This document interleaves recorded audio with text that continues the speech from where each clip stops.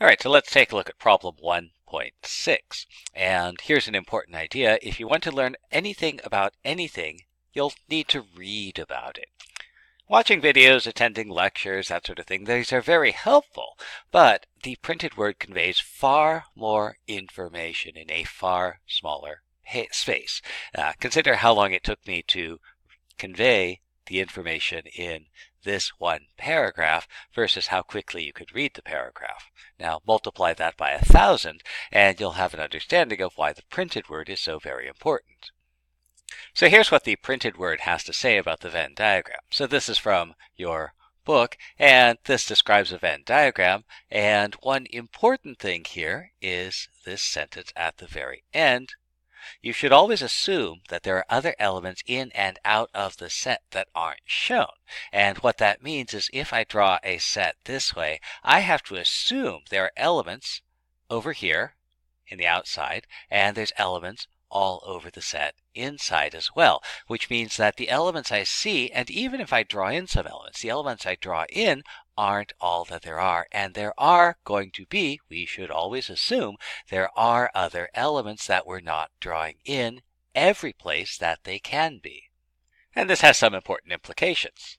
Now, if you really want to understand Venn diagrams, don't watch the rest of the video. You can't learn mathematics by watching somebody else solve problems. So again, if you want to learn about Venn diagrams, solve this problem. If you don't want to learn about Venn diagrams, you can watch somebody else solve the problem. So let's take a look at this. So draw a Venn diagram with some sets where A and B can never have common elements, and every element of C is also an element of A. So to begin with, we'll draw two sets A and B. So we'll draw a circle representing a set and see if they meet the requirements. So I'll draw two random circles like this. And let's see. So I have to assume there are elements someplace, every place, even if I don't show them. So if I draw the circles this way, the thing to notice is that if I put an element of A, if I put down an element in A, that is automatically going to be an element of B. Except A and B are supposed to never have common elements. So I know that this diagram can't possibly be correct. So we should try a different drawing. So I'll draw a different set of circles. So I'll draw something like this, and well here I can put something in here that is not an element of B, but because I should assume there are elements even if I haven't drawn them, I could put an element right here. And that element, if I put an element in here, that is in A, but it's also in B, and it's a common element of A and B, and I know that A and B can never have common elements. So I'll try a different circle. Well, what if our circles look like this? So if I put something in A, no matter where I put it, it can't be in B. And if I put something in B, no matter where I put that element, it can't be in A. Since it's not possible for something in A to be in B, or vice versa, then I have drawn two circles, a Venn diagram, that shows that A and B can never have common elements.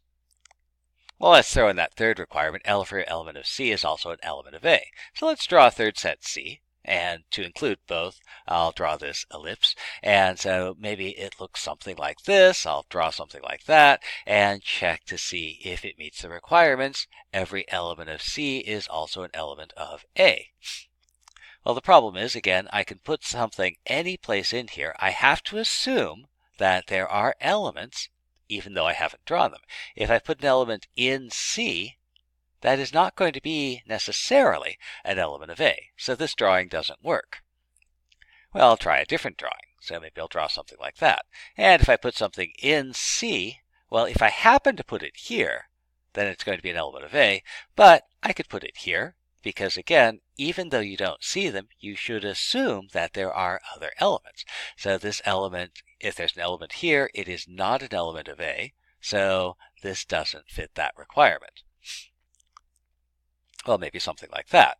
And if I put something in C, any element of C can't be an element of A, so this doesn't work.